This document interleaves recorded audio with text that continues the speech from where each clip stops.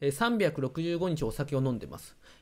えー晩ご飯の時にビール350お昼上がお風呂上がりにハイボールかワイングラス1杯という感じです。最近左手が震えたりするんですがアル中の症状でしょうか。左手でスマホを持つのでそのせいかなとか思ったりしてますが、えーお酒そろそろやめたいです。ということですね。まあ確かに。お酒毎日飲んでるとねやめれないですよね。僕も週7で飲んでたんでよくわかります。であの今飲んでないんですよ。なの2年そろそろ3年経つのかな。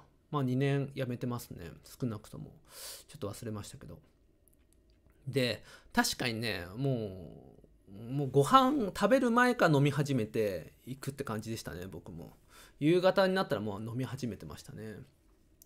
でもそんな飲んでないんですよね。ビール1本とハイボールかワイン1杯ぐらいなんで。まああの全然しょぼい。しょぼいです。良くも悪くも。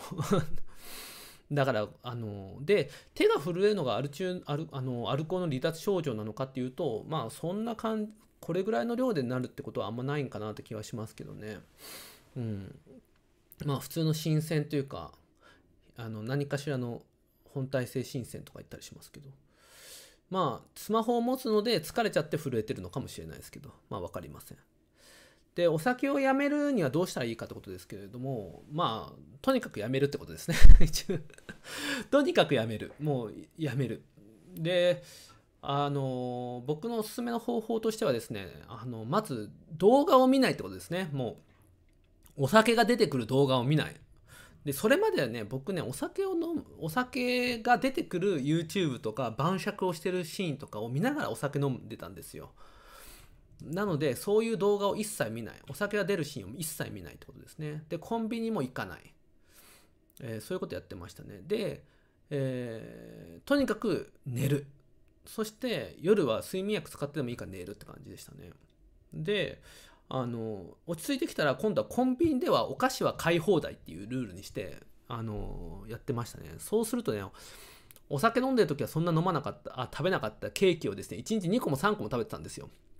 だからビール缶買うようなノリでビール缶っていっぺんにね多分お酒飲む人は分かると思うんですけど500をね2本ぐらいねコンビニで買ってねついでにね焼酎が切れてたら焼酎も瓶で瓶ごと買っちゃったりするんですよ。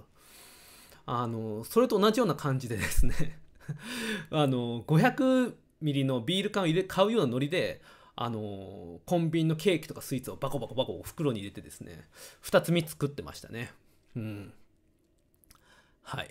そんな感じでした。もうそれでなんとかとりあえず1週間なんとか1ヶ月なんとか3ヶ月みたいなことをやってあのやめてた。